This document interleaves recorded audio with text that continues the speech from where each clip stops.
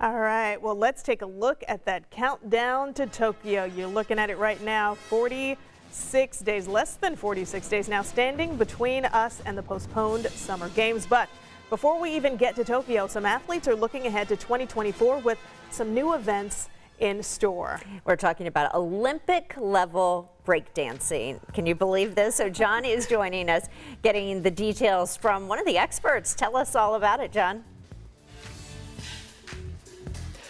Yeah, Julie, it, and it's going to be in the 2024 Olympic Games in Paris, not the 1984 uh, right. Olympic Games, but uh, with Keegan Loy, the owner here at 317 Street Dance Academy, and Keegan says popularity's never been better for breakdancing. Yep. And what's interesting, we promised you guys a little dancing, and we will do that. But it is a kind of a battle situation. That's how it's going to be yeah. going on in the, in the, Olympics, right? Yeah, it's a little bit different. Like you had asked before, if it was similar to gymnastics, um, it's going to be more like a conversation, or in this sake, more like an argument, right? So you'll be able to say your point, you'll have your turn. Somebody dances anywhere between 40 seconds to a minute long, and then the other person has their chance to respond. Okay. So you'll see multiple rounds like that in the battles. Well, we are going to be doing the same thing right now. Yes. And you are the expert. I'm a very, obviously, very beginner two left feet, but you can teach me just some basics here. For sure, for sure. So uh, first off, in breaking, there's five parts. There's top rock, go downs, footwork, freezes, and power moves. Okay. All right, so those are the five things. We'll start you off with the easy one, sure. top rock first. So top rock's the dance you do when you're standing on your feet.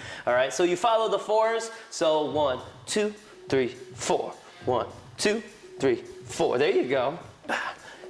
Yep. All right.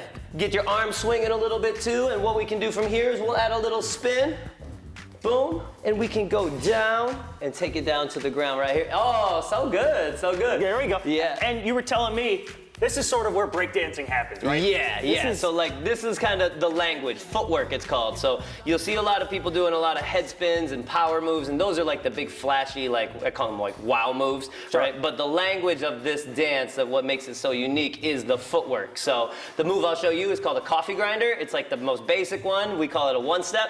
So you're gonna start with your uh, right foot out, out here to the side, and what you're gonna do is you're gonna bring your right foot all the way around like it's doing an entire circle around okay. your body. So it'll wrap around, it'll hook around our foot, we'll jump and bring it back out to the other side. Just like that, yeah. So let's do uh, let's do two in a row, and okay. then let's hit that pose. All so, right. So ready?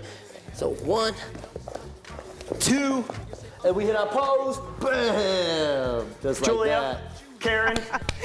Back to you. Love it. we are very, very impressed. We've got to say, well done. exactly. Good job, John. Thanks so much.